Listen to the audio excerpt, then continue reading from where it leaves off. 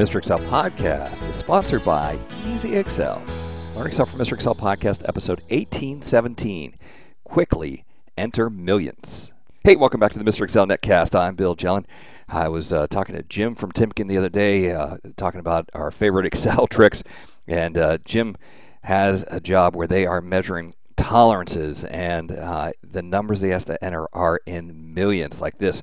So uh, 12 millions point zero zero zero zero one two, which is a horribly frustrating thing to do. If you would miscount the zeros and just you know point zero zero zero one two, uh, you're off by a factor of 10 and all the calculations are wrong. So rather than having to do point zero zero zero one two and try and count all that, Jim found this great hidden feature under File, Options.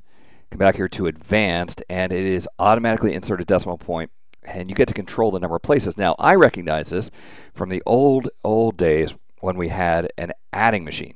Uh, so, for example, uh, you would enter 1, 2, 3, 4, and it become $12.34.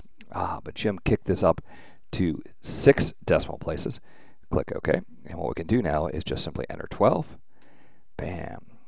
9, 16, 11, 19, 3, and 5, and Excel inserts the right number of decimal places every single time. Now it's interesting there in that little tooltip that we we saw, it's also possible File, Options, Advanced.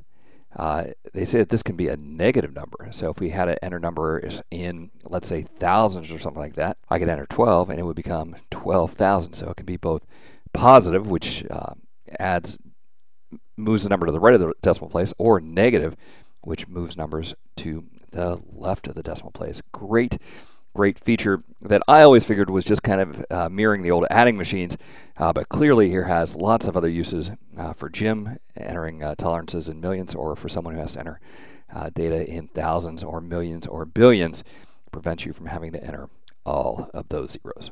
Well, hey, I want to thank Jim for passing that tip along. I want to thank you for stopping by. We'll see you next time for another netcast from Mr. Excel.